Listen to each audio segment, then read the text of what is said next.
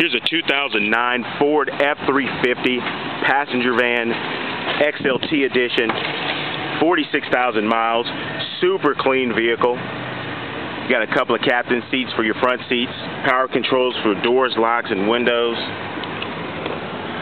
ABS braking system, AM FM CD player with MP3 capabilities, air conditioning, rear heat and air, traction control system, auxiliary input jack so you can plug in your iPod or MP3 player, and plenty of space.